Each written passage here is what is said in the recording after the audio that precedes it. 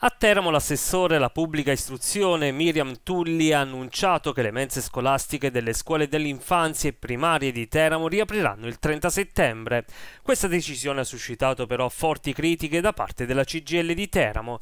Il sindacato infatti aveva richiesto il 25 luglio scorso che la riapertura delle mense coincidesse con quella delle scuole, come confermato dal comune di Giulianova.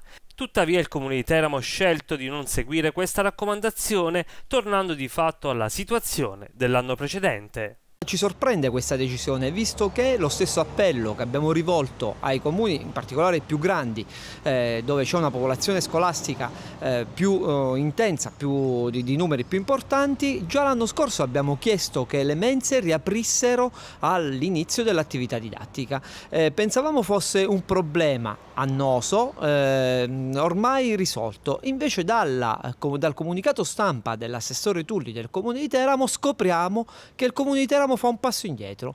Le eh, scuole riapriranno, secondo diverse, eh, dei diversi orientamenti dei dirigenti scolastici, dal 10 al 15 settembre, ma le mense del Comune di Teramo riapriranno il 30 settembre. Una scelta che per il segretario provinciale della CGL, Cordone, rappresenta sia un danno per le famiglie, ma anche per i lavoratori delle mense. Eh, la possibilità sarebbe quella per le lavoratrici di quelle mense di poter lavorare dal prima possibile. Per le famiglie avere un servizio che parta insieme all'attività didattica, anche perché il tempo pieno spesso non è scelto. Lì dove è scelto c'è ancora più una necessità che ci sia la mensa. Lì dove, tra virgolette, è imposto da una settimana corta che fa, solo, fa fare solo cassa ai eh, comuni, senza una reale discussione sulla valenza pedagogica della settimana corta, beh, immaginiamo che ci, ci debba essere un servizio to cure, così come avviene sul trasporto scolastico, anche per